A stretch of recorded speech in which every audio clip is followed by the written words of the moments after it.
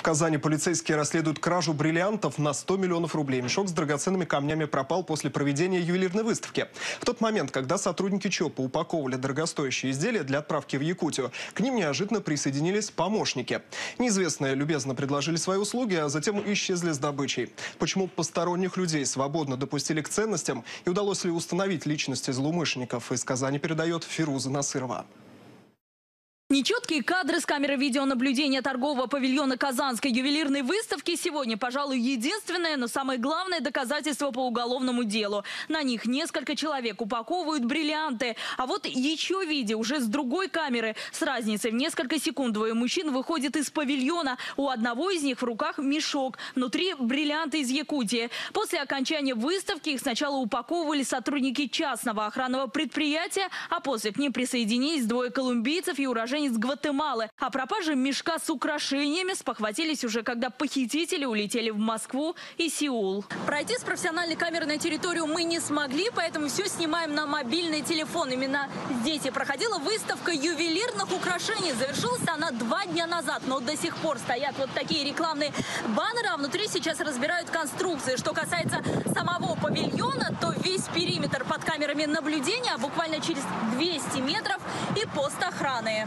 При этом руководство фирмы-владельца комментировать кражу на 130 миллионов отказались, но в личной беседе по телефону все же пояснили, что ответственность несет некая транспортная компания, которая занималась подготовкой драгоценностей к перевозу, но и там никаких комментариев сегодня не дают.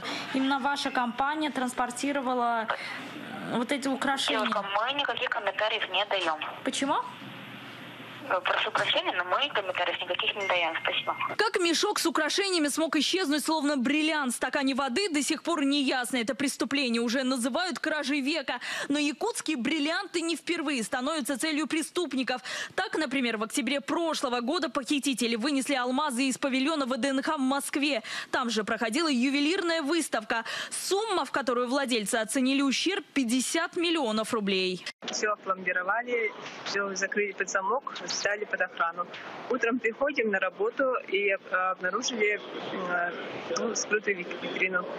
Вызвали сразу охрану, полицейских. Еще один якутский камушек с уникальной огранкой преступники вынесли с выставки Санкт-Петербурга. Воры тогда разыграли целый спектакль. Сначала очень долго изучали камень, а после незаметно заменили его на стекло.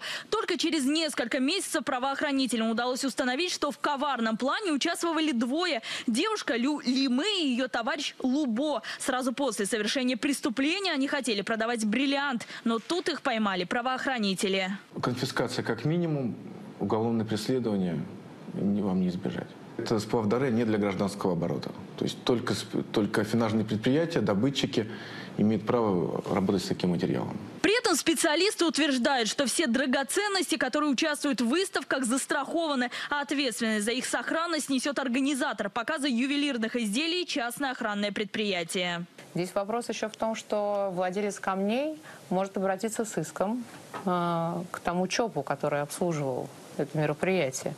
Потому что здесь налицо, э, если не говорить, не дай бог, о соучастии в совершении этого преступления, здесь э, однозначно налицо халатность. Казанские полицейские уже установили личности всех похитителей и возбудили уголовное дело по статье «Кража в особо крупном размере». Вот только удастся ли поймать неожиданно разбогатевших граждан Колумбии и Гватемалы, пока неизвестно. Все они объявлены в розыск. Феруз Насыров, Иван Литомин и Ленар Хабибулин. Вести Татарстан. Дежурная часть. Казань.